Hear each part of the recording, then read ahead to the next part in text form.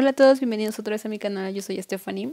El día de hoy es un día muy especial porque este es el video número 50 y para festejar quise contarles un poco de mi historia lectora y los libros que más me han marcado en la vida. Así que empecemos. Bueno, mi historia lectora empieza a muy temprana edad. Yo tengo un hermano mayor que me lleva 6 años, entonces desde que yo tenía como uso de la conciencia, eh, siempre quise imitarlo, ¿no? Siempre mi hermano hacía algo y yo quería lo mismo y quería hacer lo mismo que él y todo el tiempo estaba así como, ay, mi hermano así, mi héroe, ¿no? Y mi hermano pues lleva en la primaria. Hacía cosas de niño de la primaria como leer, escribir e ir a la escuela. Y pues yo quería eso.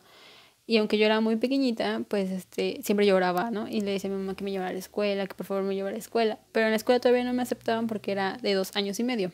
Así fue que empecé como una campaña en la que todos los días, a todas horas, fastidiaba a mi mamá de llévame a la escuela, llévame a la escuela, llévame a la escuela. Y pues supongo que fastidié tanto a mi mamá que se decidió por enseñarme a leer y escribir. Y esto es como una cosa muy bonita porque mi mamá odia, bueno, ahora ya no tanto, pero en ese momento mi mamá odiaba con toda su fuerza leer porque pues ella tiene dislexia y pues es complicado para las personas que tienen dislexia todo este proceso de leer y escribir Así que pues para mí es muy importante y muy especial que mi mamá me haya enseñado a leer a pesar de todo esto. Y creo que es el mejor regalo que me ha dado en toda mi vida, porque ella me dio como la, la llave a, a mi pasión más grande de la vida, que es leer. Así que muchas gracias mamá por este gran regalo. y así fue como yo aprendí a leer, como dice mi mamá que como a los tres años, como Sor Juana, pero pues sin el talento, ¿no? Y pues yo empecé a leer muy pequeña. Y pues leía como lo que teníamos en mi casa, que era nada. En mi casa somos como la típica familia mexicana que no tiene libros porque hay como otras prioridades. Y pues no había libros para que yo leyera, salvo los de mi hermano que iba en la primaria o algunas como... Siempre leía las revistas, lo, lo que fuera. O sea, de verdad todo lo que se me cruzaba en el camino lo leía. Y Solo recuerdo que a esa edad, como en el kinder, ya cuando yo iba en el kinder, mi papá nos trajo como unos libritos que se llamaban Las aventuras del ratón Miguelito, que era Mickey Mouse, pero estaba traducido a la española y tenían títeres. Tú les metías la manita y pues ya ahí veías las aventuras del ratón Miguelito. Y esos fueron como mis primeros libros. Y todavía recuerdo que cuando iba en la primaria mi mamá me hizo donarlos, que porque ya estaba muy grande para esos libros del ratón Miguelito y yo sufrí mucho. Luego pasé a la primaria y fue como el momento más feliz de mi vida, porque en el kinder sí tenía libritos, pero pues no eran libros así como tan guau. Eh, bueno, yo quería tener libros de niño grande y cuando entré a la primaria pues ya tuve los libros de niño grande. Y me acuerdo un buen que cuando nos dieron el libro de español de lecturas, el del perrito, fue como una revelación para mí, fue como el primer libro que dije yo, Dios mío. Bueno, en ese momento no dije como Dios mío la literatura, pero dije, wow, los cuentos. Y me acuerdo que cuando me lo dieron lo leí todo de jalón y pues como no tenía libros, pues lo leía una y otra y otra y otra y otra vez.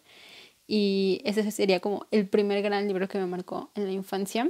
Yo creo que a muchas personas, ¿no? El Paco el Chato es un clásico imperdible de la literatura. y pues ahí está. Ahí empecé como el camino a la literatura. También más o menos como a la edad de la primaria baja, que es de primero a tercer año de primaria, eh, me acuerdo mucho de este libro, que creo que también debe ser como uno de los favoritos de muchas personas, que es El Principito, de ese señor francés cuyo nombre no puedo pronunciar.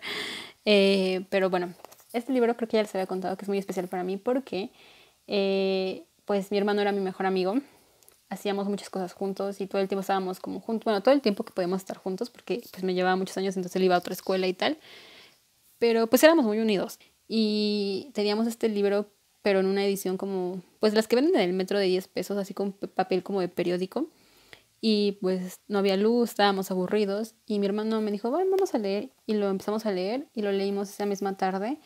Y me acuerdo un buen que nuestra cama daba como a la ventana que daba a la calle y pues estábamos leyendo mientras veíamos pasar a la gente y se hizo de noche. Entonces para mí fue como un momento muy mágico con mi hermano y pues nada, atesoro mucho al principito por eso. Creo que ahora que estoy más grande como que la historia no es mi hit, pero pues lo quiero mucho por el recuerdo como de la hermandad Y justo esta, esta edición me la regaló él cuando fue un cumpleaños y nos habíamos peleado como por mucho tiempo. Nos dejamos de hablar y toda la onda y como que fue mi cumpleaños y me dio este libro y fue como hacer las paces y pues por eso quiero mucho el principito.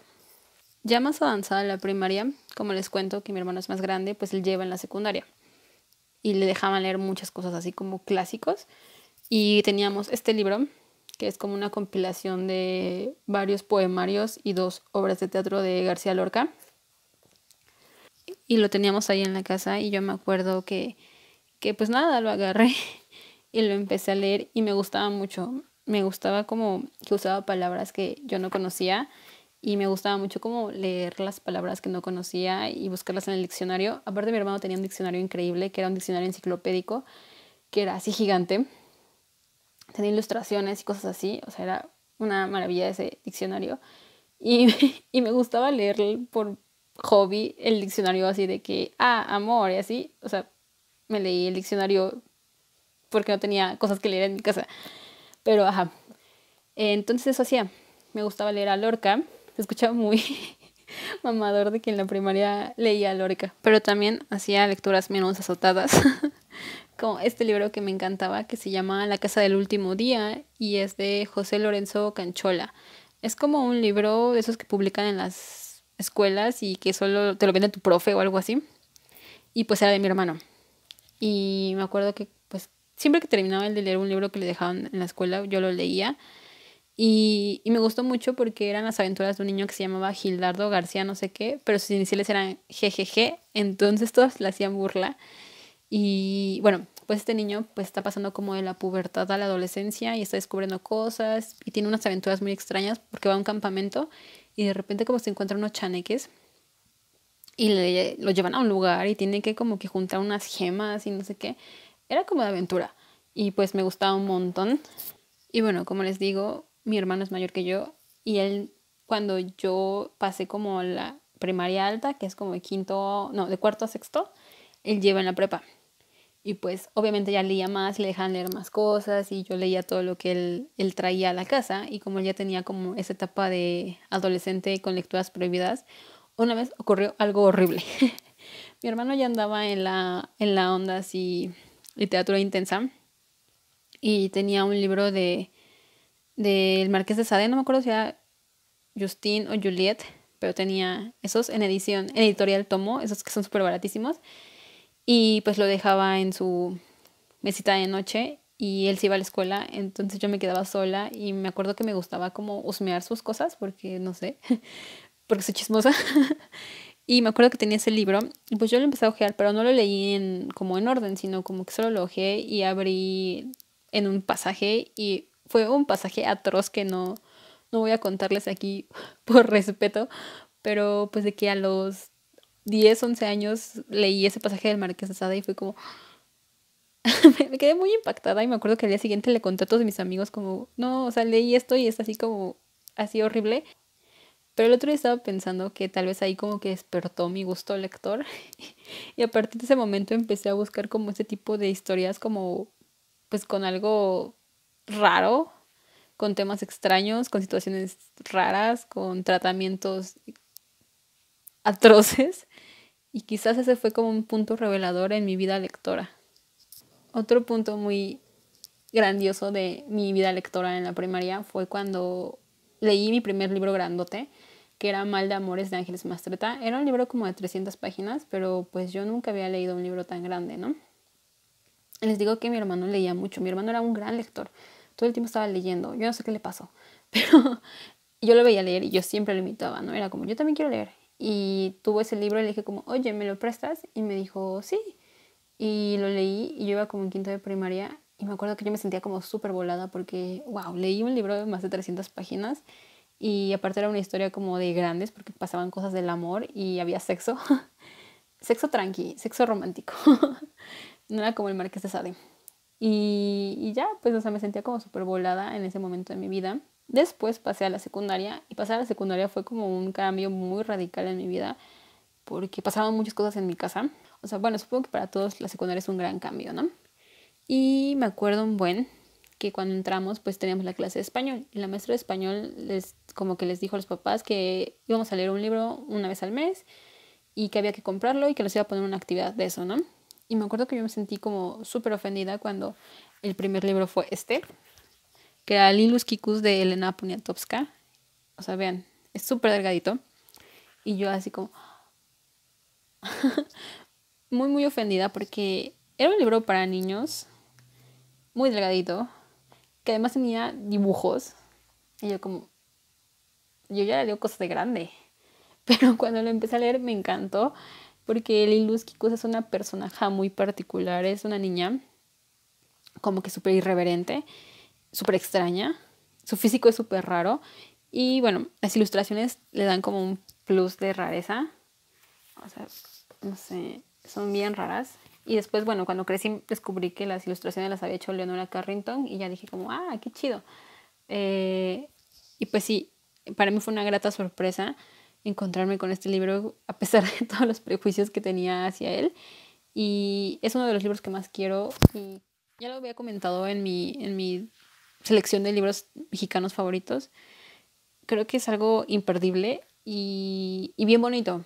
También en esa época de entrar a la, a la secundaria pasó algo muy feo porque yo entré a la misma secundaria que una de mis mejores amigas de la primaria y en mi cabeza íbamos a ser amigas para toda la vida y y nos separaron. Cuando entramos ella entró como al grupo del primero, bueno, el grupo 11 y yo iba en el grupo 16 y, y fue como, ah, estás muy lejos. Y los primeros recreos se juntaba conmigo, pero luego se dejó de juntar conmigo y luego se enojó y me dejó de hablar y nos íbamos en el camión escolar juntas y, me dejó de hablar, entonces fue como un choque emocional bien denso porque ahora ya no tenía nada que hacer. Y me acuerdo que estaba bien triste y como mi hermano iba en la escuela en la tarde, pues él llegaba muy tarde. Ahí él ya iba a la universidad. Entonces llegaba como que, que a las 11, ¿no? Y yo ya estaba dormida. Y me acuerdo un buen que, que le dejé una notita que decía como, hola, eh, mi amiga Ixayana se enojó conmigo. ¿Me prestas el libro de Verónica decide morir? De Paulo Coelho. Eh, porque no tengo nada que hacer, algo así. Mi hermano todavía conserva esa notita. Y pues ya mi hermano me... No me dijo nada, pero en la mañana el libro apareció como en el comedor y ya me lo llevé a la escuela y ahí como que agarré un buen, esa como habilidad para esquivar el contacto social de, leer. Eh, no lo terminé, ese libro no lo terminé, pero porque no me gustó. Y, y ya como que después le dije, oye, no me gustó, mejor préstame otro. Y ya me prestó con otros libros y así fue como que empecé como ya más a aficionarme y hacerlo ya como un hobby, un hobby que me ayudaba a no sentirme triste. y luego pasé a segundo grado de secundaria y ahí mi hermano ya se había vuelto como súper payaso porque ya era grande, pues sí, él ya era un adulto, ¿no? iba en la universidad y yo todavía era una morrita, entonces como que pues ya, ya hacía cosas con otras personas, hacía otro tipo de cosas y ya fue como cuando yo sentí como muchísimo la distancia como entre él y yo y, fue muy triste y muy doloroso para mí. Tal vez para él, ¿no? Pero me sentí muy triste. Y, y pues en mi casa pasaban cosas, ¿no? Entonces yo estaba muy, muy, muy, muy triste. Y me acuerdo que una profesora nos dejó leer este libro que se llama Los ojos del perro siberiano. Y pues en ese momento yo me llevaba un poco mal con mi hermano, bueno, muy mal con mi hermano, y lo odiaba, era como, ah, lo odio. Y, y, me acuerdo que mi mamá le encargó que, que, comprara este libro en el sótano. Y entonces mi hermano fue a comprar el libro al sótano y como leía súper rápido se lo acabó de regreso. Y cuando llegó solo me dijo así como, toma, léelo, está muy padre. Y yo, mmm, a ver por qué. Y lo leí también súper rápido porque obviamente quería demostrarle que yo también podía leer súper rápido. Y me gustó mucho. La historia se trata de dos hermanos que eran como nosotros, o sea, era un niño que era muy pequeño y su hermano que le llevaba muchos años. Y toda la gente amaba como al hermano grande porque era más simpático, más guapo, más agradable, más así cándido y así. Y el niño chiquito era como súper arisco, poco agraciado. O sea, como que todas las cosas feas del físico de la familia le habían tocado al niño chiquito y así, ¿no? Y pues entonces el niño pequeño, o sea, detestaba a su hermano por todo esto, como que estas diferencias que hacía la gente. Y a mí me pasaba algo similar. Pero bueno, eh, pasan muchas cosas en el libro y un día el hermano grande se sale de la casa, se pelea con los papás y todos en la familia, o sea, dejan de nombrarlo. Y el hermano pequeño se queda así como, pero ¿por qué se lo amaban? Y ahí va como el morrito como a indagar y ver qué onda. Y descubre como el meollo del asunto, que es una cosa súper dolorosa. Y, descubre eso y se acerca a su hermano, porque como que ahora que no está esa presión de los demás, descubre que es una persona genial, ¿no? Y se dan como la oportunidad de conocerse, hacen una conexión muy grande y después ya no me acuerdo qué pasa, ya no me acuerdo en qué acaba. Pero el punto es que, que al final como que hacen ese match que nunca pudieron hacer y pues descubren que eso, que son hermanos y que se van a tener el uno para el otro pues hasta donde la vida les permita. Y es muy, muy bonito, muy bonito. Luego en tercero de la secundaria tenía una maestra que era como mi maestra favorita y ha sido de mis maestras favoritas en toda la vida. Era una maestra súper exigente y súper así como de que daba miedo, daba mucho miedo. Y me acuerdo que a mí siempre me obligaba a sujetarme el cabello porque yo era emo en la secundaria y pues ya saben que estaría así como, bueno, pues como ahora, ¿no? Como que el pelo largo negro y el flequito, ¿no? Y era como súper exigente y así mal encarada y tal. Pero era una maestra así excelente, como pocas he tenido en la vida. Y ella nos enseñaba cosas de, de grandes. ella no nos ponía a leer como cosas infantiles, ¿no? Pues nos ponía a leer muchos poetas del romanticismo español, Esperanza Becker y cosas así. Y en realidad como que nos ponía a leer como muchas cosas del teatro española. También leímos ahí algunos fragmentos del, del Quijote y todo eso. Pero yo me acuerdo que algo que, que, me quedó así como en mi cabeza para toda la vida fue el Cid. Bueno, esta ya es mi edición de la universidad, ¿verdad? Pero en este momento leímos como unas copias. Una versión como pues juvenil. Porque este está en español antiguo y el que nos dio la maestra pues estaba en español de nosotros. Y y me acuerdo que cuando leí el Cid fue como, wow, el Cid. Creo que es mi crush literario. Fue mi primer crush literario. Porque el Cid era increíble, o sea, de que vencía a todos y que tenía valores así intachables y era un caballero medieval increíble. Y según yo era como súper guapo. y ya, pues nada, me, me, me croché con el Cid y también me acuerdo mucho como que esa maestra había estudiado letras hispánicas. Y entonces yo la admiraba un buen, era como, wow, o sea, quiero ser como ella porque sabía un montón y, y nos enseñaba muchas cosas que hasta la fecha recuerdo un buen. Y, y creo que ahí fue cuando dije, no abiertamente, pero dije, wow, quiero hacer algo así, ser maestra de español como ella.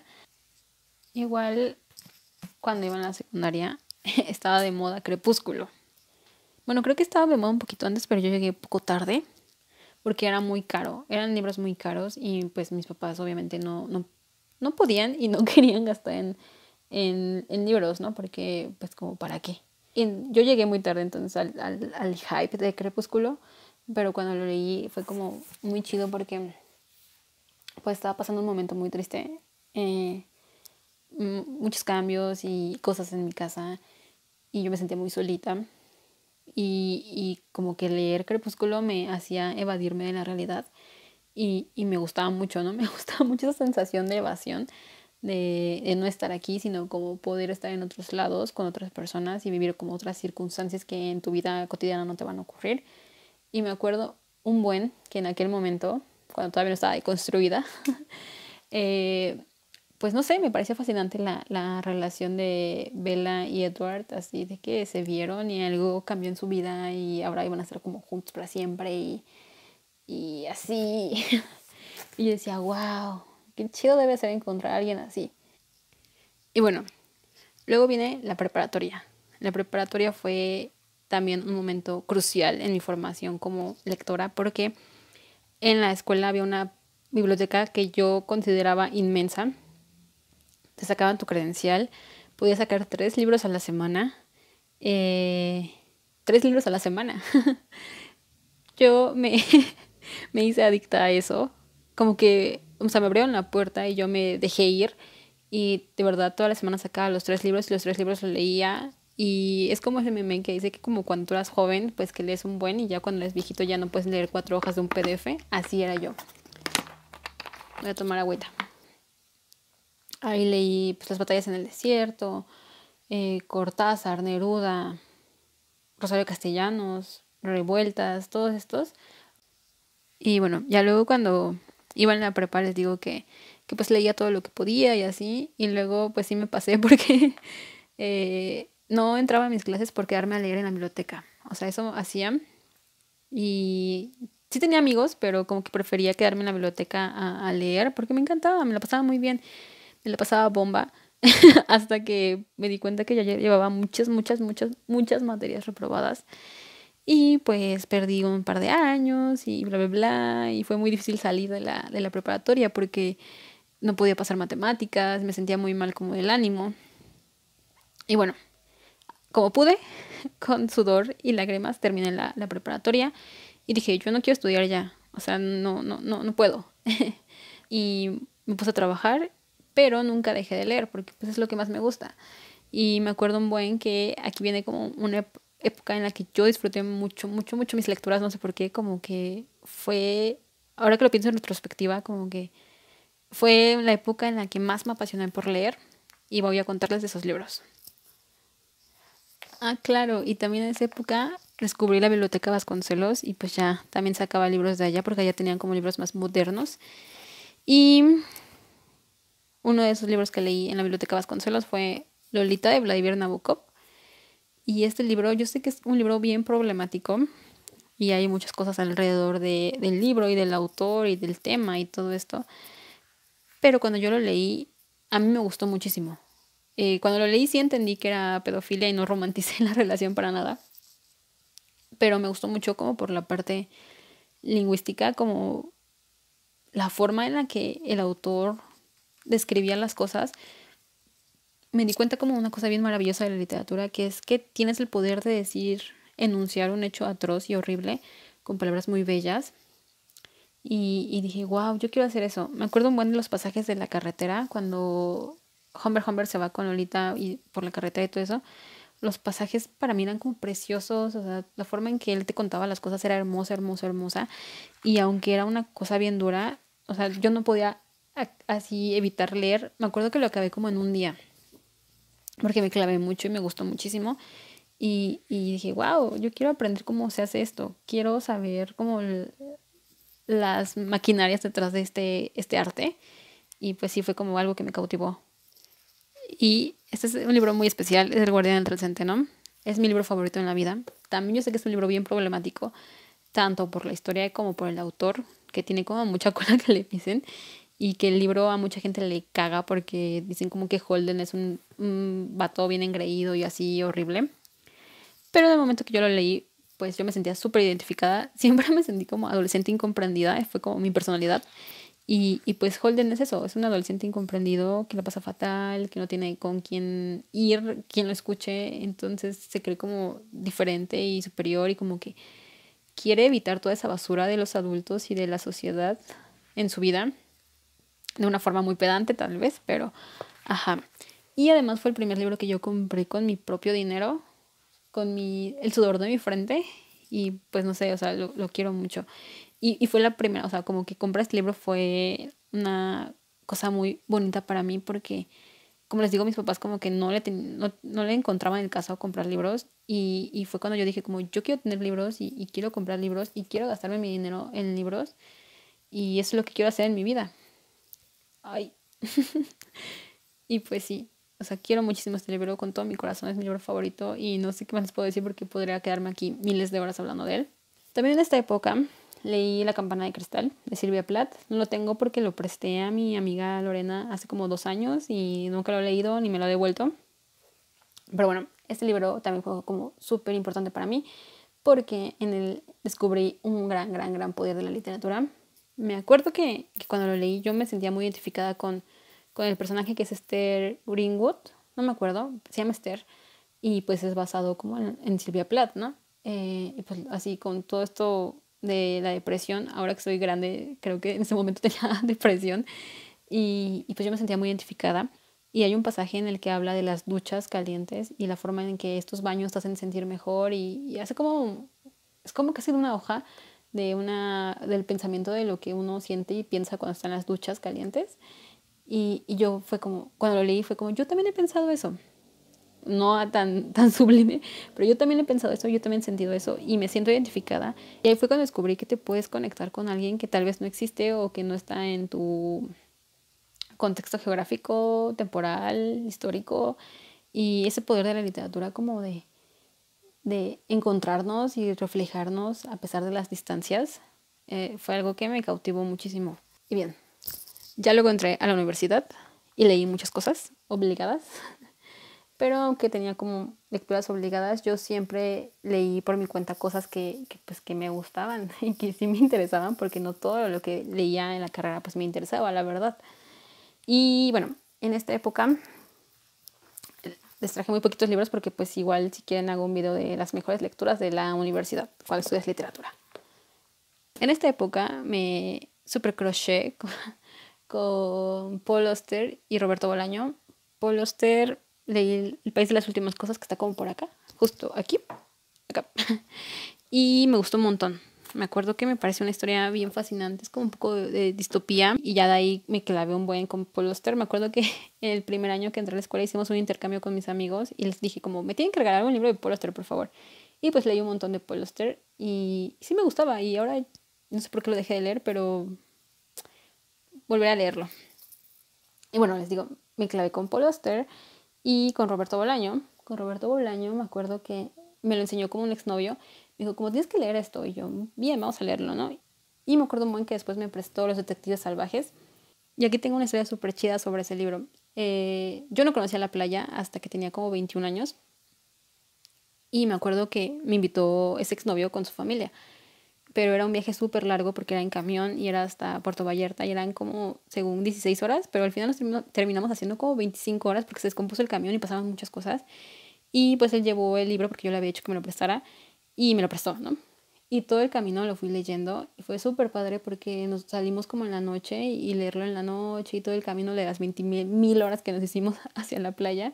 Pues el chiste que me leí todo ese libro de tirón y cuando llegué a la playa, bueno, cuando llegamos como al malecón, no sé, o sea, llegamos a la playa y empezaba a oler así a sal, así la sensación a sal en la, en la, en la nariz y yo justo estaba acabando la novela me acuerdo muy bien que cuando llegué como a la página final, cerré el libro y abrí los, bueno, alcé los ojos y, ya estaba la playa y pues no sé, ese libro es muy, muy, importante para mí por eso. Creo que es como más la, como que lo relaciono cuando conocí la playa y todas las aventuras que también pasan en, en los detectives salvajes y, y, que yo me sentía muy como, como los personajes Ay amigos, perdónenme por ser así como súper pedante de mis elecciones.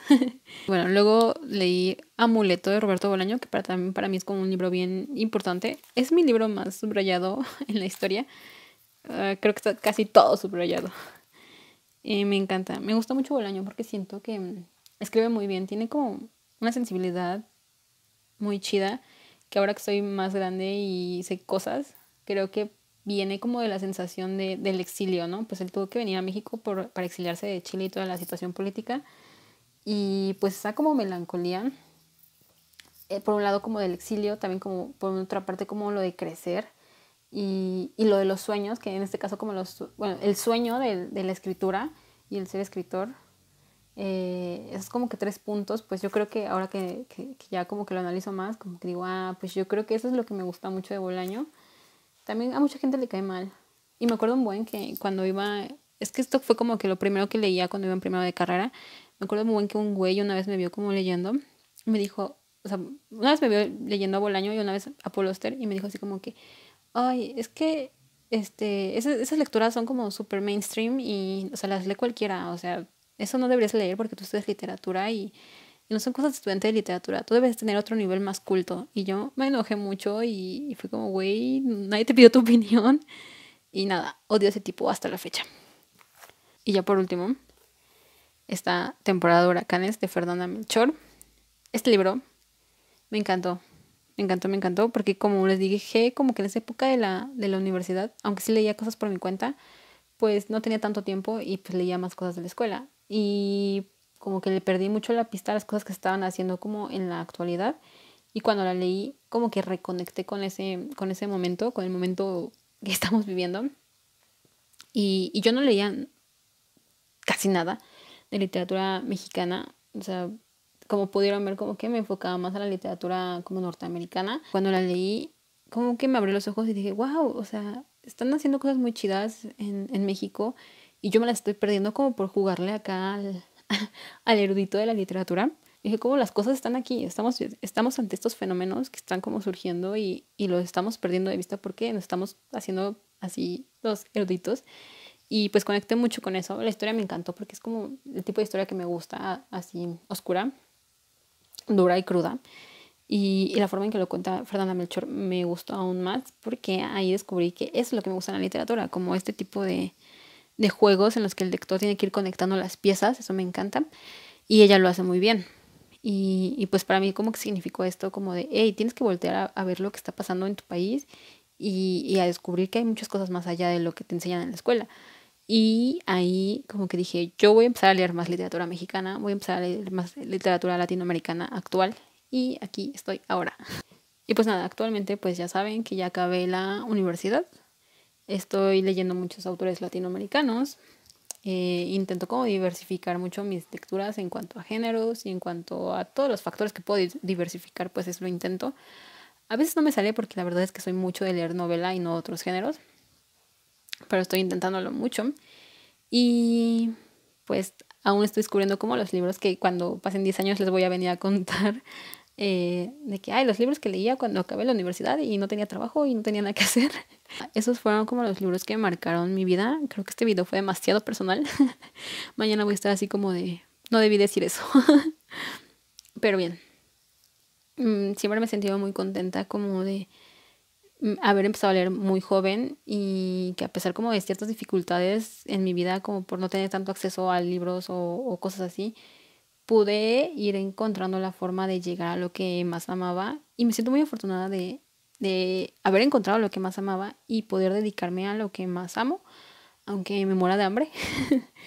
es algo que siempre, siempre, siempre voy a estar muy agradecida porque yo sé que mucha gente no, no tiene la oportunidad de, de arruinar su vida estudiando literatura. y yo sí. Pues nada, muchas gracias por estar aquí. Espero poder seguir compartiendo con ustedes esta gran pasión que es para mí la literatura, de verdad. Eh, es lo que me hace seguir viva. Como que siempre digo, no me quiero morir porque hay muchos libros que leer, muchas cosas por descubrir y, y quiero compartirlas con mucha gente. Y gracias por ver, espero que lo hayan disfrutado. Este fue el video número 50 de mi canal. Eh, los quiero mucho. Recuerden que acá abajo les dejo las pocas redes sociales que tengo. Eh, pásenla bien, sigan leyendo. Cuéntenme en los comentarios cuál fue como el libro que les dijo como, wow, la literatura es maravillosa. Nos vemos la siguiente. Adiós.